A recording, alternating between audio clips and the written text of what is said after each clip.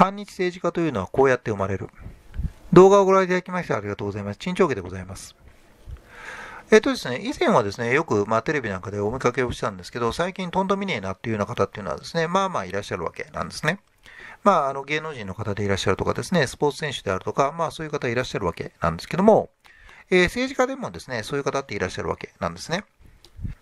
本日のですね、えー、産経新聞をですね、サイトで見てるとですね、えー、その自民党のですね、石破さん、えー、石破元幹事長がですね、出ていらっしゃったわけですね。あ、そういや最近とんと見ねえなというふうに思っててですね、ちょっと懐かしくなってですね、その中の記事を読んでしまったんですけども、えー、石破さんはですね、えー、その、まあ、韓国のです、ソウルで開かれたですね、フォーラムにですね、オンラインで参加されたと。まあ、その時にですね、えー、韓国の反日の背景にはですね、日韓併合がありますと。ね、1910年にですね、まあ、韓国をですね、併合して、まあ、要は日本にしたわけですね。西場さんはですね、えー、日韓併合について、韓国併合についてはですね、国際法的には合法だったという認識は一応示してはいるんですけども、その上でですね、えー、隣国と仲良くできない国が多くの国と仲良くできるとは思わない。えー、韓国と真の信頼関係を作るために努力しないといけないと、まあ、いうようなことを語ったわけですね。まあ、それ以外にも台湾が親日で韓国が反日されることについては、あ台湾というのは併合されたわけじゃないからねと。まあ、朝鮮は独立国だったけど、それを併合したから、あそれが、まあ、え、要因ですよ、みたいな発言もしているわけなんです。まあ、このような発言をですね、に接するとですね、私なんかちょっと脱力しちゃうんですけどね、まあ、こんなですね、認識しか持たないのかなというふうに思うわけなんですけども、えー、まあ、韓国がですね、反日とされているのはですね、まあ、いわゆる反日教育をしているからです。台湾はですね、反日教育をしていない。まあだからそれで違いが出てるんですと。えー、そしてですね、えー、その石破さんの認識によるとですね、えー、韓国と真の信頼関係を作るために努力しないといけないというようなのはですね、これは日本に向けて言われているようですね。まあつまり日本はもっと努力しなさいというようなことを言ってるわけなんですけども、えー、日韓関係が悪い理由は先ほど言った韓国が反日をするからです。その反日の元というのは反日教育があり、えー、反日を国税というしている雰囲気があるからですね。まあ、要は韓国において、え親日的な発言はできないし、反日的な発言しか許されない。えー、だからですね、えー、その韓国は反日をする。そして韓国が反日をするがゆえに日韓関係は悪くなる。というようなことなわけですよね。えー、だから、要は努力をする、日韓関係を改善するために努力をするのはですね、日本ではなくて韓国であって、韓国が反日をやめればですね、日韓関係というのはきっと良くなるだろうと思いますけども、えー、それをやらないんだったらですね、日韓関係というのは絶対良くならないというのがですね、現状なんだろうなというふうに思います。えー、石破さんの言ってるのっていうのはですね、まあ全くの的外れであるというふうに思うわけなんです。えー、ところでですね、石破さんはなんでこんな発言をしたのかと、まあ、いうふうに考えるとですね、えー、まあ、その、彼のですね、心の内はわかりませんけれども、えー、ここにですね、典型的なですね、反日政治家が生まれてくるですね、まあ、心情があるんではないのかなというふうに思うわけです。えそれはどういうことかというと、石破さんというのはですね、先ほどちょっと触れましたように、まあ、日本の世論調査で非常にまあ人気の高かった方でいらっしゃるんですね。えだけどですね、この方っていうのはですね、近い方に嫌われるんですね。つまり自民党の政治家に嫌われるんですよ。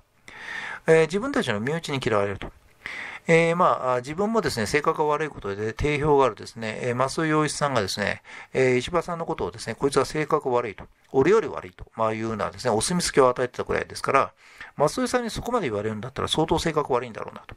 えー、だからですね、この人をですね、一生懸命、え、その自民党総裁に押そうというですね、勢力というのはほとんどなくてですね、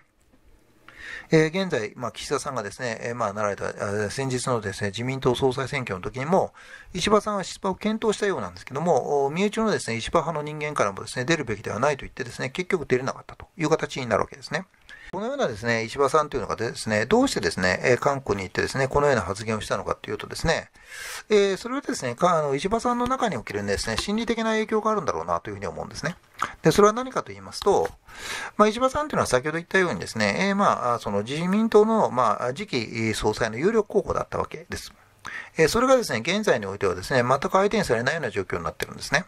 私はあの、まあ、以前、石破さんのことについてですね、まあ、動画を上げましたけれども、あ前回の、まあ、岸田さんが総裁になられた総裁選挙にですね、石破さんは立とうと思ったけど立てなかった。それは周りに押す人がいなかったから。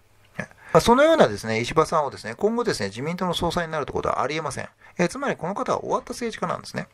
だけど、やっぱりこう、まあ、総裁を目指すというような立場にいて、自民党の幹事長もやった方でいらっしゃるからですね、自尊心は高いんですよ。自尊心が高い。だけどですね、まあ今現在自民党では相手にされない。日本では相手にされない。まあそこにですね、韓国のような国がですね、えー、ぜひフォーラムに参加してくださいっていうとですね、やっぱり嬉しいわけです。で、そこでひょいひょいと言って出てってですね、まあ、韓国の方にもう一回呼んでもらおうと思ってですね、えー、まあ、喜ぶような発言するんですね。それがですね、こういった反日的な発言になるわけです。韓国の方が喜ぶように、日韓併合したがゆえに、韓国の反日があるんだと。だから日本側がもっと努力しなきゃいけませんよっていうような発言をするわけなんですね。えここにですね、反日政治家が生まれるですね、まあ、根本的な理由があるのかなと。自分たちが日本社会の中でですね、孤立してるっていうのはですね、まあ要は石破さん自身の性格上の問題なんですね。自分は嫌われてるんです。だけど石破さんのような政治家っていうのはですね、えそういうふうなことを思わないで、周りのせいにするんですね。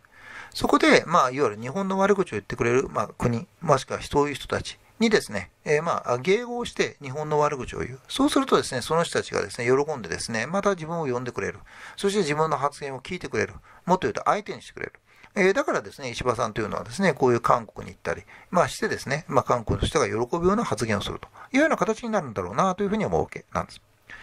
この石破さんのですね、先輩に当たるような方っていうのはですね、まあ、いわゆる鳩山幸夫さんなんていうのはそうですね。鳩山幸夫さんも民主党政権ができた時の、まあ、初代の、まあ、その、こう、総理大臣でいらっしゃいますけど、まあ、一時はですね、非常にこう、人気のあった方でいらっしゃるわけですよ。鳩山政権ができた時はですね、7割、8割という支持率があってですね、あの、2009年の選挙の時に圧勝したわけなんですね。えー、だけどですね、現在は、あその自民党とかですね、はもちろんのことながらですね、まあ立憲民主党をはじめとする昔の民主党の人たちからも全く相手にされてないわけなんですよ。で、そうするとやっぱり寂しいんですよね。で、そういう方がですね、全く相手にされない。で、そうするとですね、まあ、いわゆるそういうところに近寄ってくる韓国とかにですね、そしてまあ中国とかにですね、まあ、なんていうんですかね、好かれるような発言をするんですね。で、そうやって、まあ、いわゆる反日政治家っていうのが生まれてくるんだろうなと。だけど、まあ、そういう自分たちの自尊心というのを満足させるために、そういう反日的な発言をせざるを得ない。そういうことをすると、韓国とか中国はですね、喜んでですね、いや、さすが石破さん、素晴らしい発言ですね、っていうようなことを言ってくれるわけなんで、そうすると気持ちいいわけですね。そしてまたですね、同じようなことをやる。こうやって反日政治家が生まれてくんだろうな、というふうに思うわけなんです。えー、鳩山幸夫さんを見てみればわかるように、鳩山幸夫さんというのは全く野党の中においても相手にされない。相手にしてくれるのは山本太郎さんだけなんだ。ということをですね、石破茂さんにはぜひ学んでいただきたいなと。そしてですね、あなた自身が、あまあ、総裁になれなかったというのはあ、あなた自身の性格が悪いからだと。ね、松戸洋一よりも性格が悪いからだということをですね、ぜひ自覚していただきたいなというふうに思います。えー、動画を聞いていただきましてありがとうございます。えー、またですね、下の方にブログ、ツイッター、ラインアットつけてあります。登録していただいたらありがたいなと思います。最後まで聞いていただきましてありがとうございます。